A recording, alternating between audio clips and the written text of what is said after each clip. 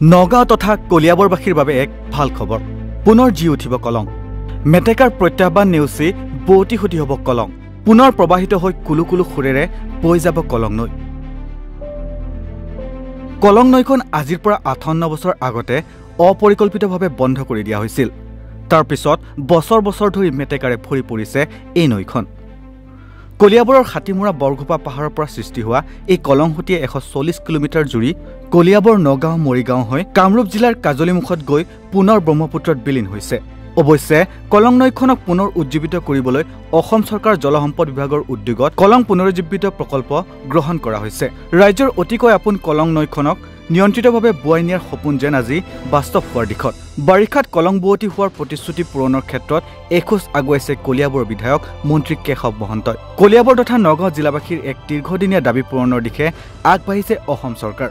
কলং বোৱতী কৰাৰ লক্ষ্যৰে জলসম্পদ মন্ত্ৰী পীযুষ হাজৰিকা আৰু কেশৱ মহন্ত হাতীমূৰাত কেইদিনমান পূৰ্বে উপস্থিত হৈ সকলো কামৰ খাটিয়ান লোৱাৰ পাছত শনিবাৰে পুনৰ স্থানীয় বিধায়ক তথা মন্ত্ৰী কেশৱ মহন্তক হাতীমূৰাৰ কলংমুখত উপস্থিত হৈ পুনৰ সম্পূৰ্ণ কামৰ খাটিয়ান লোৱাৰ লগতে নিজে পৰিদৰ্শন কৰে কলংমুখৰ ছুইচ গেট তেওঁ কয় যে নগাঁওবাসী বা কলিয়াবৰবাসীৰ বাবে সুখবৰ যে অতি শীঘ্ৰে কলংখন পুৱতি হ'ব।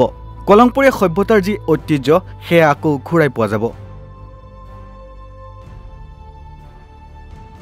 নগাঁওবাসী ৰাইজৰ কাৰণে কলিয়াবহৰবাসী ৰাইজৰ কাৰণে এটা ডাঙৰ সুখবৰ যে অতি শীঘ্ৰে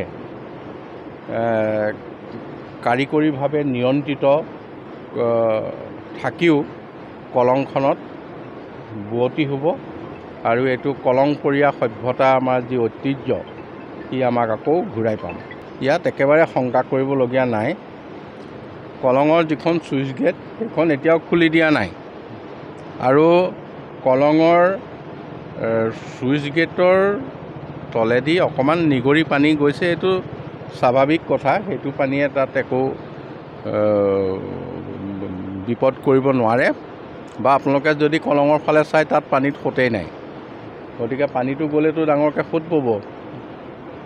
আৰু কলংখন যিহেতু খান্দি দিয়া হৈছে এতিয়ালৈকে প্ৰায় পাঁচ ছয় কিলোমিটাৰ খান্দিলে। খান্দি দিয়াৰ লগে লগে কলঙৰ অৰিজিন নিজৰ নিজৰ থকা ঠাইত থকা চ'ৰ্চটো ওলাইছে। পানী খান্দি দিওঁতেই তাৰ পৰা পানী ওলাইছে গতিকে সেই পানীটো স্বাভাৱিকতে বাৰিষা দিনত কলঙত এটা পানী এতিয়া য'ত খণ্ডন হৈছে সেইখিনিত থাকিব।